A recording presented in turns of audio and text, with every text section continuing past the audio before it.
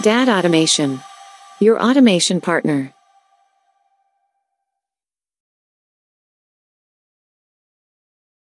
Hello everyone welcome to the Dad Automation YouTube channel.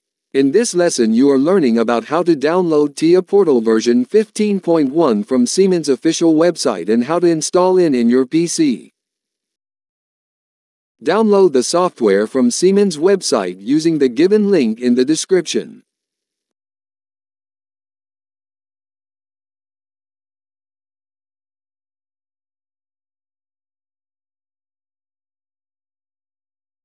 After the download is finished, install the software in your PC.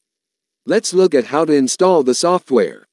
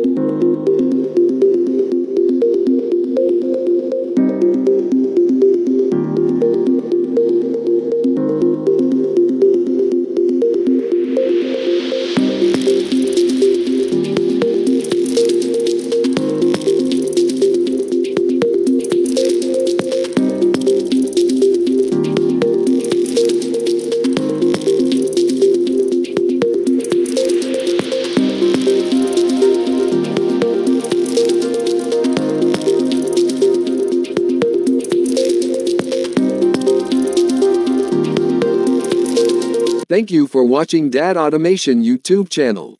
To acknowledge our newest videos please subscribe the channel.